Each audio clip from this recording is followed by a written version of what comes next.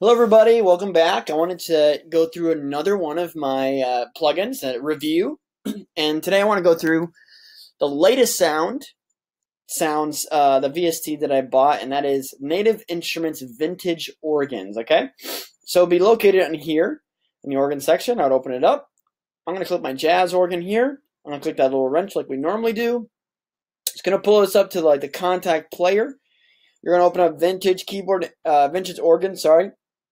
It's going to bring you to this. And this is kind of what an old fashioned, the drawbars for the organ, what it looks like. And so there's a lot, a lot of buttons. So I'm just starting to get used to it.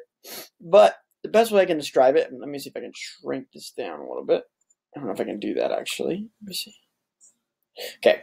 Well, what you can do is uh, first thing, I just picked a basic jazz uh, jazz organ, so it's going to sound like this.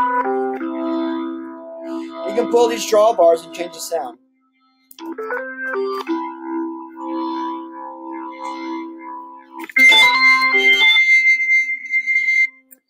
Okay, so you can do it kind of manually if you wanted to. Um, you also have uh, rotation of the organ.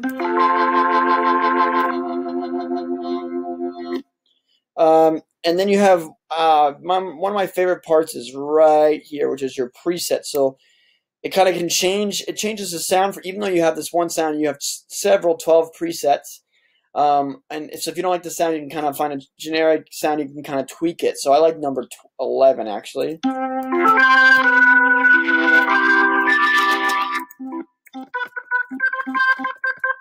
I can move stuff around like this. So um, these are the things I, I like doing with this. I, I, enjoy vintage sounds, organ sounds. So if you if you like gospel organs, this is a great organ uh, sound to use. If you don't, if you use more like church organs, this is probably not the right VST for you because it doesn't really give you a lot of organy sounds. They do provide like a a, ca- a cabinet organ, but uh, it's kind of um, not the full on like big full church organ. It's kind of like a smaller. Depends on what kind of church, I guess. There's those the Catholic cathedrals. I wasn't I was expecting that, but it didn't really come in the package here. But they also have like small cabinet uh, organs that are used for like smaller congregational churches. And so if you like that kind of sound, that is also in here as well. But these are great sounds for like gospel kind of organy sounds. If you're playing some kind of gospel song, this would be a great one to help you out. And so, uh, yeah, I love the interface is pretty easy, but at the same time, you can you can tweak it and make it a little more difficult and program your own sounds if you want. If you do that, you just click this button, save, and it will save the sound for you.